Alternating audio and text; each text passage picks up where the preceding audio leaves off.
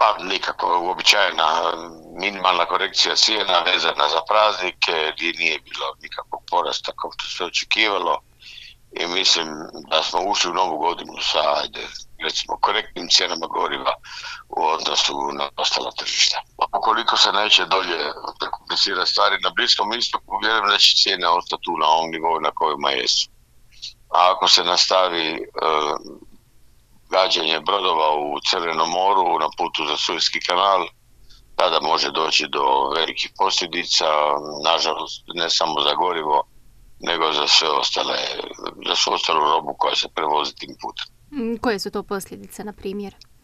A povećanje cijena, brodovi bi morali ići preko Juga Afrike, to je 15 20 dana dulji put, veće vozarine, veće sote za osiguranje i jasno da će to onda poskupiti svu robu koju, koja se vozi iz dalekog ili bliskog istoka prema Europi. Pa, da samo mi cijeli sve će onda trpiti posljedice toga, ali nadajmo se da neće do toga doći.